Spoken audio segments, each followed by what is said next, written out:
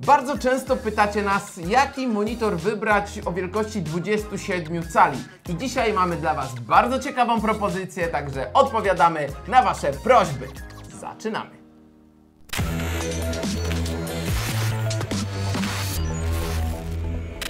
Razem z Wojtkiem, który z niejednego monitora jadł, parafrazując znane powiedzenie, Cześć.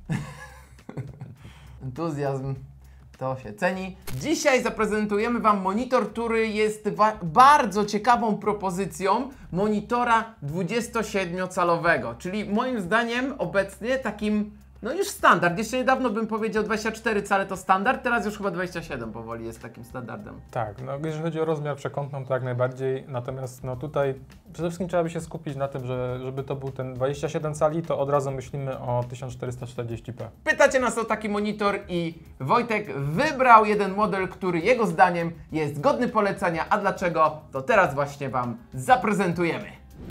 A jest nim Yamaha G-Master, uwaga, GB277OQS-u. O, ku, prawie. O ku, z pamięci wszystko. Dzisiaj właśnie to jest nasza propozycja dla Was. I co? Otwieramy! nie widać mnie. Bo to dla widzów tylko i wyłącznie zaleta. Otwieramy. Pierwsza ważna informacja, Yama wychodzi nam naprzeciw i monitor się składa mega łatwo, dostajemy go właśnie już z tym ramieniem i tylko robimy coś takiego. Nie musimy mieć nawet śrubokręta, bo jest wkręt taki i jest gotowe. Tutaj warto jeszcze dodać, że Yamaha ma dwie wersje każdego praktycznie swojego monitora. Różnią się drugą literką. Ten jest GB, a są jeszcze wersję bez tego B, czyli samo G. I oznacza to, że GB ma regulację wysokości, o czym za chwilkę dokładnie pokażemy, ale to jest największa różnica, a stówkę dopłacamy. Czy warto? Wasza decyzja. Monitor już na naszym stole, a my omówimy go w kilku krótkich punktach. Także zaczynamy od regulacji.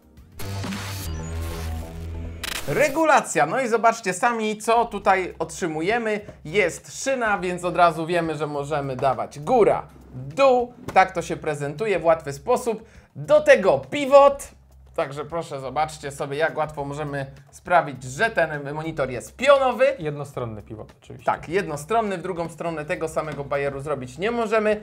No, ale nie dostajemy ostatniej e, możliwości regulacji, czyli na boki. Przy czym dla graczy nie jest to szczególnie istotne, więc myślę, że to jeżeli chodzi o zestaw możliwości regulacji, to w zasadzie wszystko, czego gracz potrzebuje. I coś, o czym warto wspomnieć też przy e, regulacji, to WESA. Dokładnie tak. Możemy odkręcić naszą piękną nogę z regulacją i zastosować jaki tylko chcemy uchwyt, także możemy na ścianie powiesić, możemy sobie na statywie mocowanym do biurka.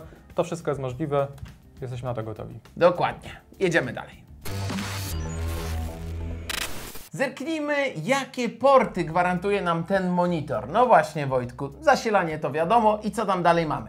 Jack, Mini jack, czyli słuchawki wyjście tak naprawdę. HDMI, Tak, HDMI 2.0 DisplayPort, 1.4 i USB, mm, no to jest typu B, co pokazałeś, czyli wejście i jest USB 3.0 i mamy dwa wyjścia, no niestety z tyłu, ale bez problemu możemy sobie stąd na przykład wyprowadzić jakiś dalszy rozdzielacz, albo po prostu podpiąć myszkę, klawiaturę i gdzieś kable nie będą nam za biurko latać. Ale warto zobaczyć, że mamy tutaj do, organizer do kabli, także wszystkie kable ładnie sobie zejdą. Co prawda nie ma przejścia przez nogę, więc one będą sobie przez tą nogę musiały bokiem Dokładnie. przejść. I tutaj delikatny minusik, bo fajnie jakby y, było to przejście, ale jest coś do organizacji i to porty I jeszcze Wojtku krótki komentarz uważasz, że czegoś brakuje lub jest właśnie coś nadprogramowo, co byś pochwalił? Znaczy tak, ja zawsze lubię jak porty USB są z boku wprowadzone, bardzo niewiele film to robi, no w Jamie niestety też tego nie ma.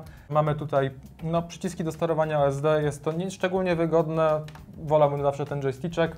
No, ale da się ogarnąć, wiadomo, kwestia przyzwyczajenia. Dużo do tego nie sięgamy, więc powiedzmy raz ustawimy jest, można o tym zapomnieć, natomiast jak chcemy coś szybko zmienić, to to nie jest aż takie łatwe. Okej, to teraz przejdźmy do jeszcze ważniejszych rzeczy, czyli matryca. Matryca, czyli coś, co w monitorze jest kluczowe. Co tu Wojtek się kryje? No, producent nazwał to Fast EPS i o tym, czy jest fast, to będziemy jeszcze chwilkę później mówić, natomiast zdecydowanie jest IPS. Panel jest 8-bitowy i jak widać nasze HDMI 2.0 jest tutaj pewnym limitem. Jeżeli posiadacie tylko takie wyjście, jak my w naszym teraz laptopie podpiętym, no to jest pewien problem, bo nie uzyskacie z tych 165 Hz, tylko trzeba się ograniczyć do 144 w natywnej rozdzielczości. Tak, czyli polecamy jednak kablem y, DisplayPort się podłączać, bo wtedy możemy więcej wycisnąć. Monitora. Pamiętajcie, że część nowych laptopów ma z USB typu C, wyjście DisplayPort również, więc można w ten sposób kombinować. Przejściówka HDMI do DisplayPort niczego tutaj nie zmieni. O czym warto powiedzieć w przypadku tego monitora to podświetlenie. Mamy tutaj moduł, który cały czas świeci stałym światłem, natomiast można włączyć tryb MBR, czyli stroboskopowe podświetlenie. Nasz monitor będzie po prostu cały czas migał tym podświetleniem, wstawiając po prostu, wygaszając ekran pomiędzy odświeżeniami. Okay. Daje to dużo mniejsze, no, że tak powiem, opóźnienia. W ruchu obraz będzie dużo ostrzejszy, ale kosztem jasności. A tej jasności mamy tutaj naprawdę dużo do dyspozycji, ponieważ w naszych testach wyszło ponad 500 nitów jasności dla 100% podświetlenia. Dobrze Wojtku, ktoś kto zakupi ten monitor, jaką jakością obrazu będzie mógł się cieszyć? Jak to wypada w testach? No to przechodząc płynnie z tego, o czym przed chwilą mówiliśmy, czyli o podświetleniu, mamy tu kontrast no, typowy dla IPS niestety, czyli 1000 do 1. To jest jedyna w sumie zła wiadomość, jaką dla Was mam.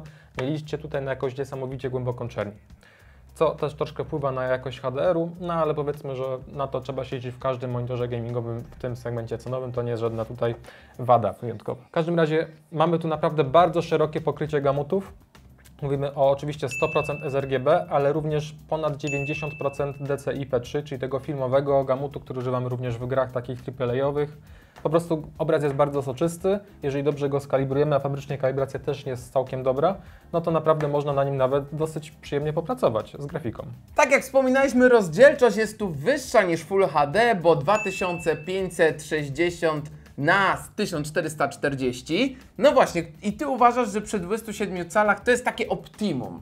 No tak, no mówmy się, że Full HD, czyli 1920 na 1080 to już jest troszeczkę za mało obraz, zwłaszcza w systemie przy takiej przekątnej będzie po prostu lekko rozmyty. W grach też nie uzyskamy aż takiej przyjemnej, przyjemnej ostrości obrazu, no a do pracy to już w ogóle ciężko.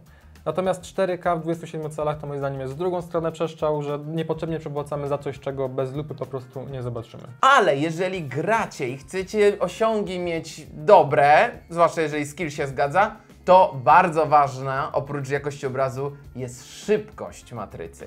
I o tym porozmawiamy w kolejnym punkcie. No dobra, zapytam bezpośrednio. Czy ta matryca zapieprza zgodnie z naszym skillem. Oj, zdecydowanie tak. W mojej procedurze testowej wyszła poza zakres odczytów. Jeżeli aktywujemy ten tryb MBR, naprawdę możemy liczyć, tutaj producent nie ściemnia, mamy poniżej tak naprawdę 0,8 milisekundy. Od razu mówię, to jest ten tryb wygaszania ekranu, czyli mamy mniejsze podświetlenie i mamy troszkę męczące dla oczu migotanie, a co więcej jeszcze w tym trybie producent zastosował overdrive, czyli to e, przyspieszenie tej matrycy na najwyższym poziomie, co się wiąże z pewnym powidokiem. Nie używam takiego trybu w grach takich dla przyjemności, bo to niepotrzebnie psuje komfort grania, a niepotrzebnie tam aż takiej szybkości. A jeżeli zależy Wam na takiej naprawdę kompetytywnej grze, no to jest tak. naprawdę no, wszystko, czego potrzebujecie tak naprawdę. Okej, okay, a jeżeli chodzi o herce, 165 Hz jak tutaj się sprawuje? Osiąga te 165 Hz. E, oczywiście, tak jak mówiłeś, przez DisplayPort tylko i wyłącznie. E, no i to czuć, jeżeli mamy odpowiedniego skilla, no to to wykorzystamy to. No dobrze, ale jeżeli nie będziemy grać z tym stroboskopowym podświetleniem, to jak wtedy się sprawuje ta szybkość?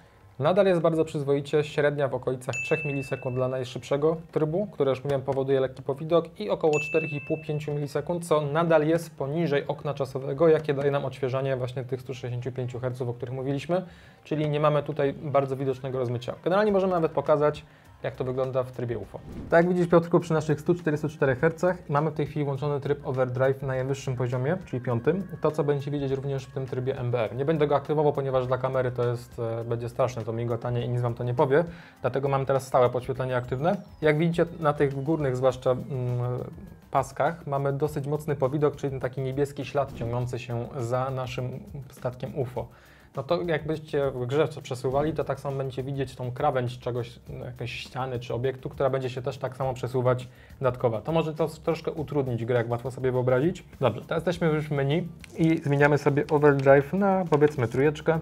Na trójeczce, jeżeli dobrze pamiętam, już praktycznie tego widoku, po widoku nie występuje. Jest on minimalny na tyle, że dla naszego ludzkiego oka jest pomijalny. No zdecydowanie brakuje go. I w tym trybie widać. polecam go używać. Mówimy tu właśnie o tych niecałych 4 milisekundach czasu reakcji, co do tych 165 Hz w zupełności wystarczy. Ostatnia rzecz, ten monitor oczywiście wspiera FreeSync. FreeSync e, praktycznie Premium w tej chwili się nazywa. E, przez zgodna jasność nie jest to Premium Pro, ale mamy FreeSync Premium i jest oczywiście kompatybilny z NVIDIA G-Sync. Prawda, nie oficjalnie, ale w naszych testach nie zauważyliśmy zupełnie żadnych niepoprawidłowości. Generalnie wszystko śmiga jak powinno.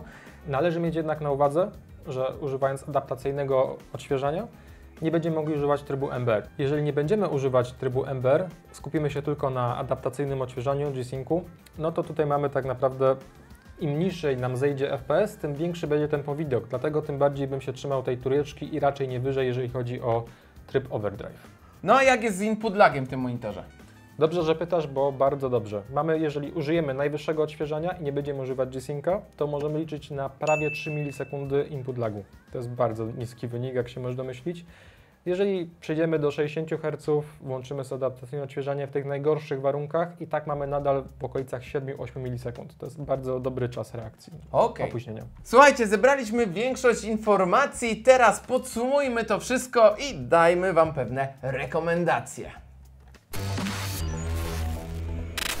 Monitor 27 cali. Moim zdaniem powoli to jest taki standard. Te cale rosły, rosły, rosły i doszliśmy do tego momentu, gdzie większość osób chyba celuje w ten rozmiar. I wielu z Was też nas pytało, jaki monitor wtedy najlepiej wybrać. To jest monitor w cenie około 1800 zł niecałe. Wojtku, w paru żołnierskich słowach, dlaczego jest to nasze polecenie w tym przypadku i dlaczego to jest dobry wybór? Z całą pewnością jest to bardzo dobrze zbalansowany monitor. Tak, widzieliście, o wszystkim mogliśmy coś dobrego powiedzieć. Jedyne, czego tu tak naprawdę można powiedzieć brakuje, to jest porządny HDR, ale na to nie liczcie w żadnym monitorze poniżej trójki. To można pominąć i poza tym mamy bardzo szybką matrycę, bardzo dobre kolorki, fajną regulację. No, powiedz mi, czego więcej chcieć. Tak mówiłeś, optymalna rozdzielczość do przekątnej, Także jest to pewna kombinacja, która sprawiła, że postanowiliśmy właśnie ten monitor Wam polecić, bo będzie to w tych kosztach na pewno topka poleceń. Dodatkowo IAMA dodaje gwarancję zero martwych pikseli przez 30 dni, także jeżeli się zdraży nawet najmniejsza kropeczka gdzieś tam wyłapana przez Was, to możecie ten monitor wymienić. To też trochę zdejmuje nam z barów taką myśl, że żeby mi się dobrze trafiło. Dla tych, którzy lubią cyferki, liczby, twarde dane, my też nie wszystko podajemy aż tak mocno, żeby Was nie zanudzić czasami. Także dla tych dociekliwych recenzja w opisie i tam możecie już naprawdę przekonać się, że faktycznie nie ściemniamy, tylko mówimy jak jest. Dajcie znać, jakie Wy macie monitory i czy byście zamienili na przykład swój na ten, a może macie coś ciekawszego jeszcze. Także polećcie, napiszcie, co uważacie i możecie też pytać o monitory, które macie na oku. Wojtek chętnie Wam doradzi, zwłaszcza na grupie na Discordzie. I w tym momencie wesołym i bardzo entuzjastycznym kończymy dzisiejszy odcinek. Zostawcie lajka i subskrypcję, żeby no, zostawić nam trochę ciepła i radości. W te ciepłe również dni. Trzymajcie się. Cześć. Bye.